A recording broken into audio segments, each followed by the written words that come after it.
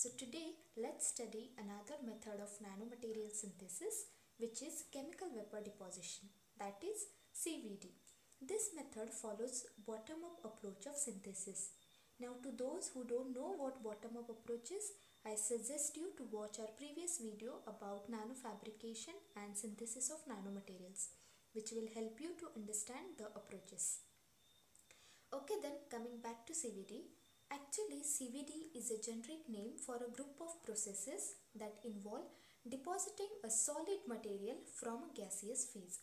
It is conveniently used to obtain coatings of a variety of inorganic or organic materials. It, it is widely used in industry because of relatively simple instrumentation, ease of processing, possibility of depositing different types of materials and economical viability. So let's dive into today's video to study in detail about this CVD process. Firstly, let's see its definition. Chemical vapor deposition CVD may be defined as the deposition of a solid on a heated surface from a chemical reaction in the vapor phase. It belongs to the class of the vapor transfer processes which is atomistic in nature. Here atomistic means that the deposition species are atoms or molecules or combination of these. Chemical vapor deposition CVD results from the chemical reaction of gaseous precursors at a heated substrate to yield a fully dense deposit. That means in this process we have heated substrate on the surface of which the chemical reactions between the gaseous precursors takes place and which ultimately leads to the deposition of the material. Okay. CVD is a chemical process used to produce high purity, high performance solid materials. This technique is suitable for the manufacture of coatings, powders, fibers and monolithic components. This technique is often used in many thin film applications. By varying the experimental conditions like substrate material, substrate temperature, composition of the reaction gas mixture, total pressure gas flows etc. Materials with different properties can be grown. That means just by varying these parameters we can obtain different materials with desired properties. Okay. Now let's look at its instrumentation and understand the working concept behind CVD. Firstly talking about instrumentation. A typical CVD system consists of the following parts. First sources of gases and their feed lines. Mass flow controllers for metering the gases into the system. A reaction chamber or reactor. A system for heating up the wafer on which the film is to be deposited. And lastly temperature sensors. So as you can see this is a CVD reactor.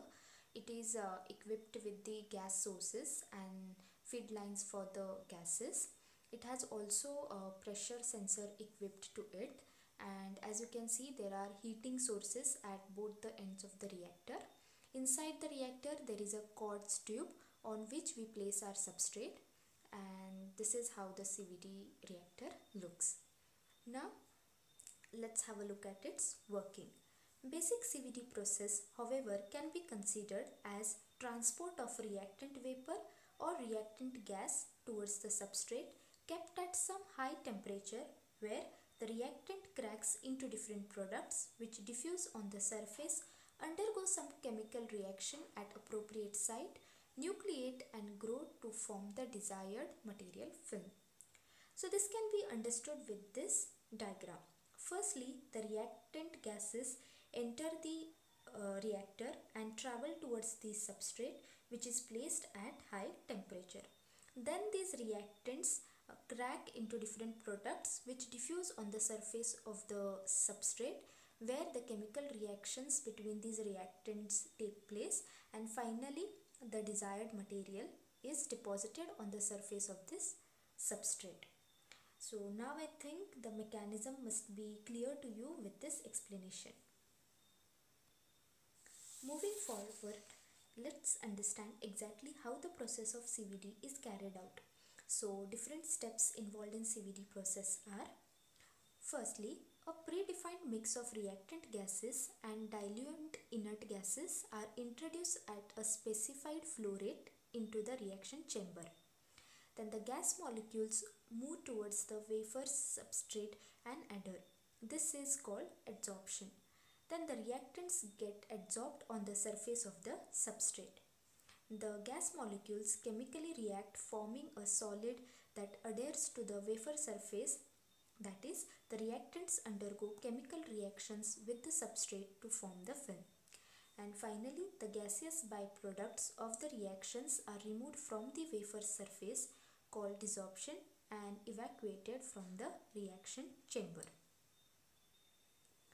Diagram here depicts the different steps involved in CVD process. So firstly, let me tell you what is what. So the dark green uh, circles indicate the gaseous reactant species that is our gaseous reactants. The blue color circles are the adsorbed intermediates. The orange circles are our solid product and the faint greens are the gaseous byproducts. This is the boundary layer and this is our heated substrate.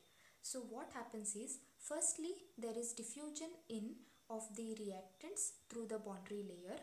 Then there is adsorption of uh, reactants on substrate which is shown by this faint uh, blue color and then the chemical reaction takes place uh, and finally the solid product is deposited on the substrate which is shown by this orange color and then there is desorption of adsorbed spaces which is shown by this uh, faint green color.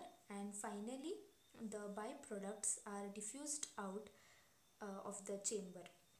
So this is how the entire CVD process is carried out. During the process of chemical vapor deposition the reactant gases not only react with the substrate material at the wafer surface or very close to it but also in gas phase in the reactor's atmosphere. That means the reaction not only takes place at the surface uh, at the substrate level but also takes place in the gas phase that is above the substrate in this uh, empty space in the reactor. So the reactions that take place at the substrate surface are known as heterogeneous reactions. So the reactions that take place at the surface of this substrate are known as heterogeneous reactions. Heterogeneous reactions selectively occur on the heated surface of the wafer where they create good quality films. So as I have showed you in the previous video, heterogeneous reaction that take place on the surface of the substrate uh, help in creating good quality films. Reactions that take place in the gas phase are known as homogeneous reactions. That means the reactions that take place in the space above the substrate are known as homogeneous reactions. Homogeneous reactions occur before the gas molecules reach the wafer surface. They are referred to as gas phase reactions. This aggregates the depos depositing material which adhere to the surface poorly and at the same time form low density films with lots of defects. So in short, heterogeneous reactions are much more desirable than homogeneous reactions during chemical vapor deposition. So obviously as heterogeneous reactions give rise to good quality films, uh, this type of reactions are desirable rather than homogeneous reactions which give rise to low density films during the chemical vapor deposition. The reaction rate can be changed by changing concentration of the reactant. As more reactants become available, the reaction rate increases. So if we want to increase the reaction rate, then we have to increase the uh, amount of reactants. So this was all about the CVD processing. Moving on further, let's see the types of CVD. There are number of forms of CVD that are widely used. These processes differ in the means by which chemical reactions are initiated, like for example activation process and also process conditions. So depending upon uh, process conditions, there can be different types of CVD. And which are they? Let's see. A reactor is said to be hot wall if it uses a heating system that heats up not only the wafer but the walls of the reactor itself. That means hot wall reactor is where where the substrate as well as the walls of the reactor are heated simultaneously and that's why the name hot wall. So an example of which is radiant heating from resistant resistance heated coils. So this is the diagram of hot wall uh, CVD. So as you can see there is gas introduction facility and as it is shown in this diagram there is heating source at both the ends of the reactor so which helps in heating up of the substrate as well as the walls of the CVD. In hot wall reactors, films are deposited on the walls as well as on the substrate.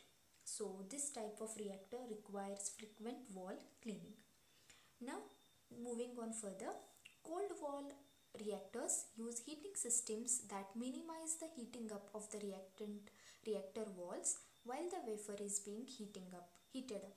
An example of which is heating via IR lamps inside the reactor. So as you can see in this diagram the heating source is only at the substrate level and not on the walls. So because in cold wall CVD only the wafer is being heated and walls of the CVD are not being heated continuously so this is cold wall CVD Another way of classifying CVD reactors is by basing it on the range of their operating pressure. Uh, that means depending on the range of operating pressures being used, we can classify CVD process into different types. And which are they? First is atmospheric pressure CVD that is APCVD.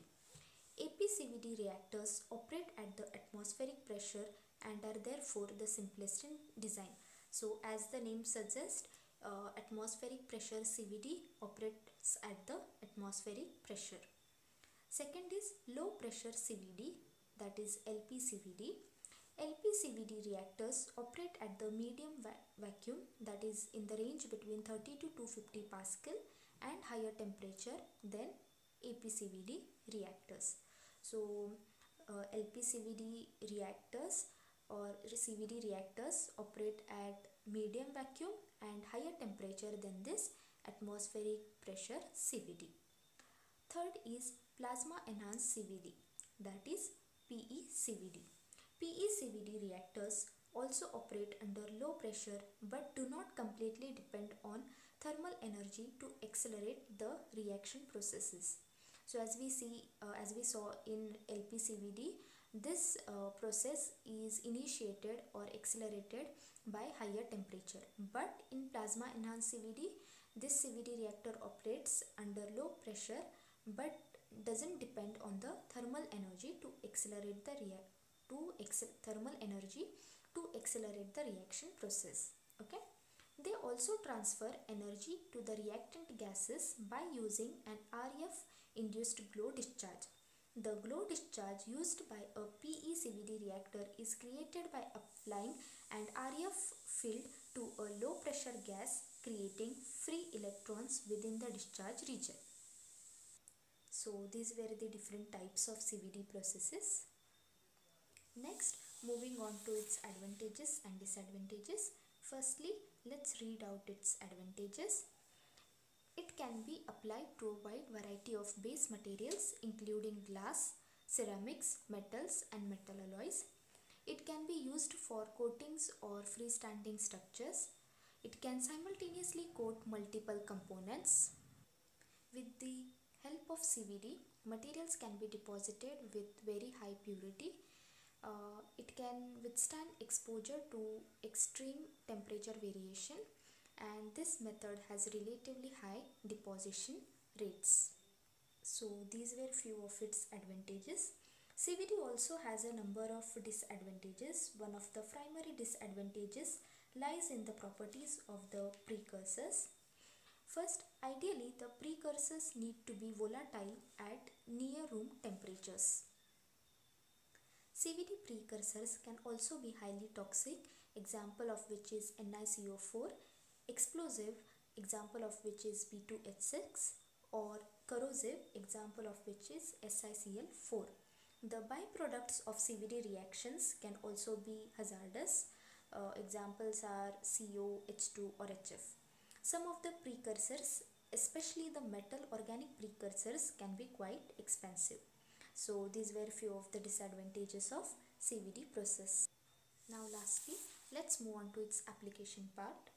CVD processes are used on wide range of industrial components, aircraft uh, for industry automotive industry for gas cookers and also to resist various attacks by carbon oxygen and sulfur so here i have listed some important applications let's read them out one by one first for surface modification to prevent or promote adhesion for photoresist adhesion for semiconductor wafers for MEMS coating to reduce stiction for biomems and biosensor coating to reduce drift in device performance.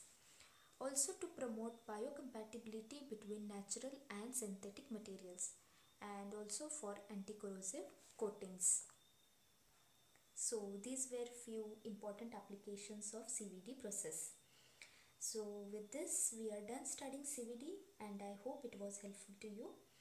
To those who are new to our channel and seeing our video for first time, please subscribe to this channel so that you can learn about more such concepts from nanotechnology. And to get notified about our new video, do hit the bell icon after pressing the subscribe button. Also, if you enjoyed today's learning, then do like this video and also don't forget to share this video with those who would find it helpful. Okay then, until next time, be happy and keep learning.